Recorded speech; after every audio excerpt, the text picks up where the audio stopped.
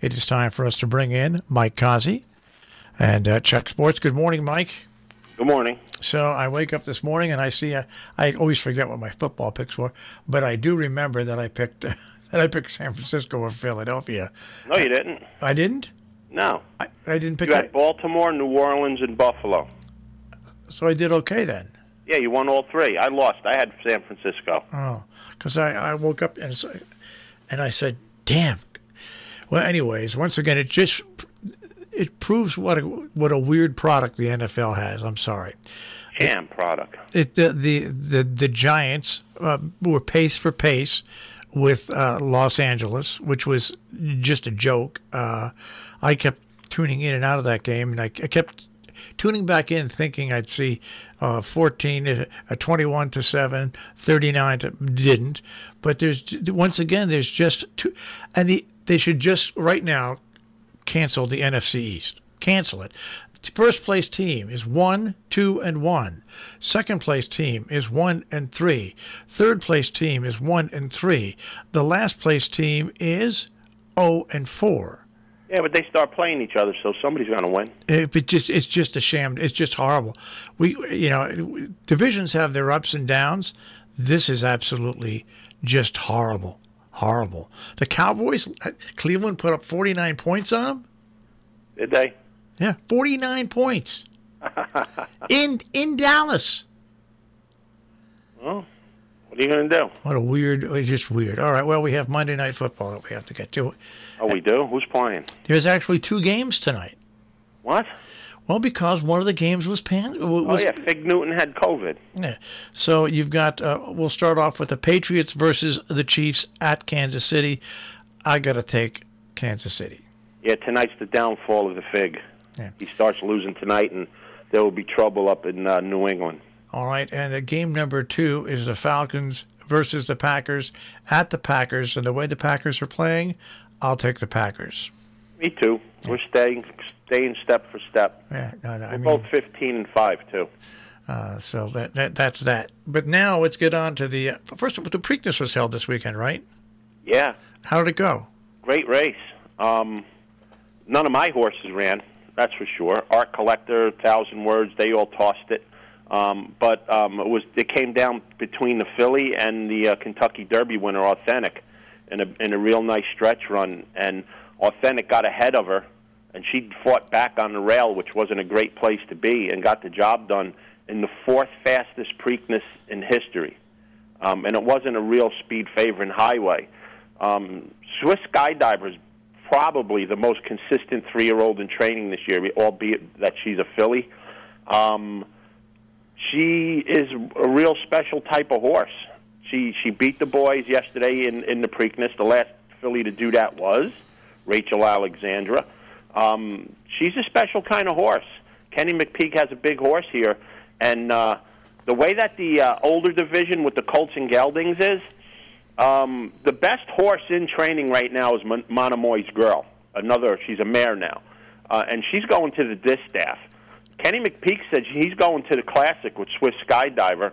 Um, he thinks that the mile and a quarter distance is probably her best distance. She hasn't. She's only run it one time in the Alabama, and nobody's going to argue with that. She ran her lifetime best Beyer in that, and she won by three. And these boys are have a lot to be desired. They um, there's no standout. There's no one that good. Um, you know, people are going to say, "Oh, well, Tiz the Law is the greatest."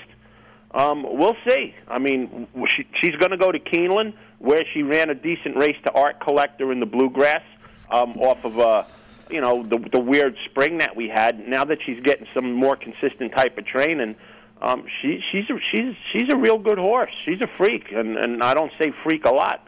Um, really, really nice race on Saturday, and I'm looking forward to her. I hope McPeek does put her in the classic, and I hope she wins.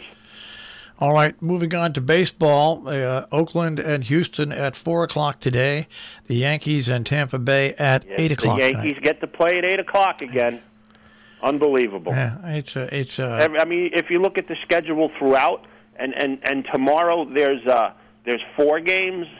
The Yankees play at seven or eight o'clock every night. I mean, this is garbage. It's absolute garbage. Why can't anybody else play at seven o'clock tonight? The poor Atlanta Braves fans, they haven't seen a game start later than two o'clock the entire playoffs yet. It, it, it's really ridiculous. It's sickening. It makes me sick that the Yankees, the Yankees are, are the golden team that gets to play at seven or eight o'clock at prime time every night. I hope they get swept by the Rays for that reason alone. Uh, well, I just look at it this way: with all the with with with all with all the teams that are playing, okay, with the all right, and all the networks that can carry them.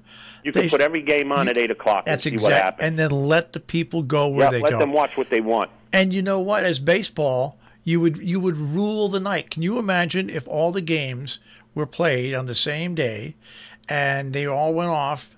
So they were scheduled to go off as evening games on different networks. Do you know how baseball would rule the ratings for that week? The Atlanta game and the Tampa Bay game, I won't call it the Yankee game because I hate them. The Atlanta game and the Tampa Bay game should start at 6 6:30 Eastern Time. And this way the two West Coast games, well they're all on the West Coast, Yeah. but the West Coast fans with the A's and the Dodgers, that game should start at 9:30 our time so that they can see it in prime time. That's the way this lineup should be. They're both on two different channels. Fox Sports 1 and TBS are carrying the games.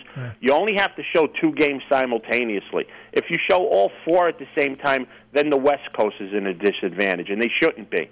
Every game should start at 6:30. East Coast, West Coast, same time. One, you got Fox Sports and TBS on one, and then you just go to the other one. And both channels have rollovers where if the game goes to extra innings, they can start showing the other game on another one of their Yeah. sister channels. Yeah. Perfect setup. Why don't they do it? No, you're, you're right. That's Who's gonna Who is going to watch the Braves today at two o'clock? Yeah. No, you're right. You're absolutely right. It doesn't. And then again, on the same token, people on the East Coast want to see the Dodgers play. Who's going to watch the Dodgers game when it starts a quarter to ten tonight? yeah. No, it's stupid. It's stupid. It is. You're right. It's it's dumb. It's absolutely ridiculous. You, like you said, you you have enough networks to carry this so that everybody could see the game that they want to see, but we can't do it. It's it's it's absolutely pitiful. Absolutely pitiful. And on top of that, you have two NFL games tonight. So it's Well, just, today you only have two baseball games, Yeah, and they still can't get it right. That's exactly. the A's are playing at one o'clock their time. if you were to tell me that you had two baseball playoff games on tonight and two football games, I think what you'd see come rating time that baseball far outpaced football. Yep. Far. I mean, just let's just let's look at today for one second. The A's playing at four o'clock in the afternoon at their ti on our ti at our time?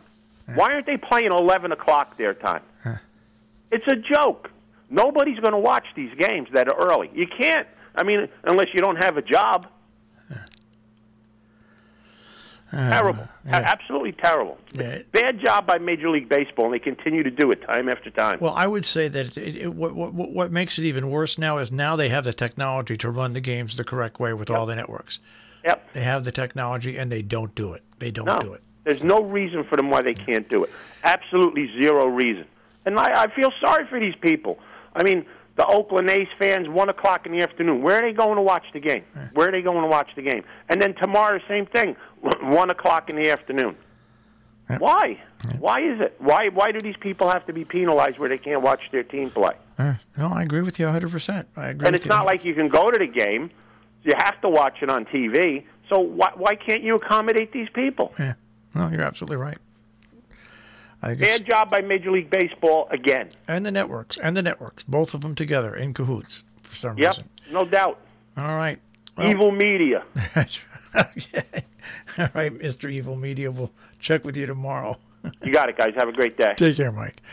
Mike Cozzi with a check on sports this morning here on Robin Hood Radio.